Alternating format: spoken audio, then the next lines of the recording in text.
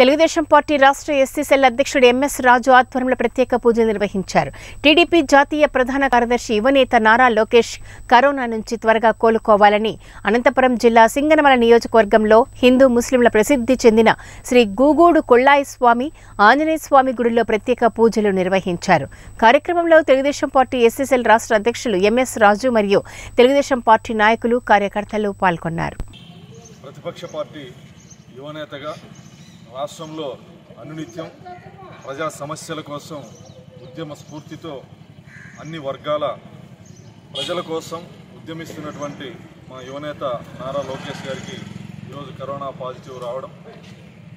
రాష్ట్రంలో యువత కోసం నిరుద్యోగుల కోసం మహిళల కోసం రైతుల కోసం రైతు కార్మికుల కోసం ప్రజా వ్యతిరేక విధానాల మీద అనునిత్యం ప్రజల్లో ఉన్నటువంటి యువనేతకి కరోనా రావడం దురదృష్టకరం.